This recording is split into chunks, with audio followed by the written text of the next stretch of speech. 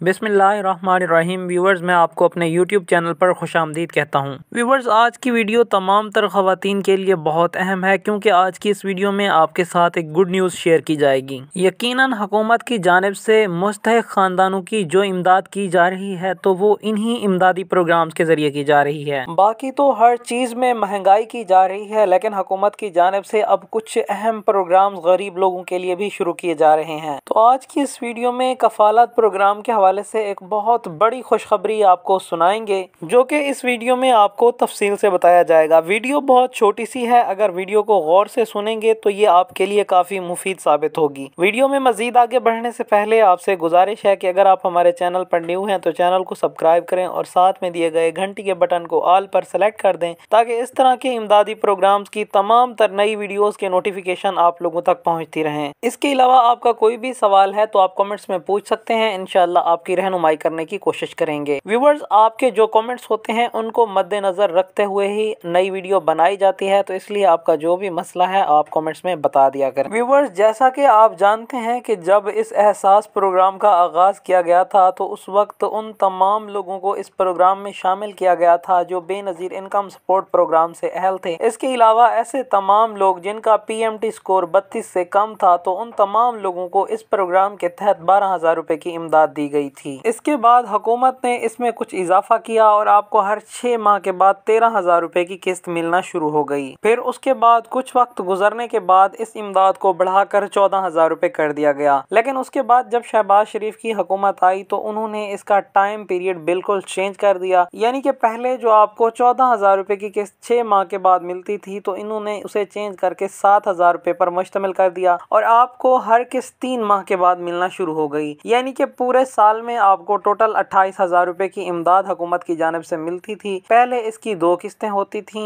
पूरे साल में और अब इसकी चार किस्तें मिलती हैं। यानी कि सात सात हज़ार रूपए पर किस्त मुश्तमिल होती है और सात हज़ार रूपए की चार किस्तें मिलती हैं आपको एक साल में। जो कि पहले आपको दो सहमाही किस्तें मिल चुकी हैं और तीसरी सहमाही किस्त वो भी अगले महीने इनशाला आपको मिलना शुरू हो जाएगी। तो अब आते हैं उस अहम खुशखबरी की तरफ़ जो मैंने शुरू में आपको बताई थी। व्यूवर्स जैसा कि आप जानते हैं कि कुछ दिन पहले वज़ीर आज़म पाकिस्तान शहबाज शरीफ ने एक प्रेस कॉन्फ्रेंस की है, जिसमें उन्होंने बताया था कि बेनजीर इनकम सपोर्ट प्रोग्राम में पंद्रह फ़ीसद इजाफा किया गया है। यानी कि बजट में भी बेनजीर इनकम सपोर्ट प्रोग्राम की रकम को बढ़ाया गया था और पंद्रह फ़ीसद इजाफा किया गया था। मजीद उन्होंने कल प्रेस कॉन्फ्रेंस की है तो उसमें भी उन्होंने बताया है। तो अब आप लोगों के लिए जो गुड न्यूज़ है, खास तौर पर खातन के लिए जो बेनजीर इनकम सपोर्ट प्रोग्राम से अहल हैं तो उनको ये बताया जाता है कि हुकूमत पाकिस्तान की जानब से अब आप लोगों को सात हज़ार रूपए की सहमाई किस्त नहीं, बल्कि दस हज़ार रूपए की सहमाई किस्त मिला करेगी। यानी कि पहले जो आपको तीन माह के बाद सात हज़ार रूपए दिए जाते थे, अब वो सात हज़ार से बढ़ाकर दस हज़ार रूपए कर दिए गए हैं, और हर तीन माह के बाद आपको दस हज़ार रूपए की किस्त मिलती रहेगी। और इसी तरह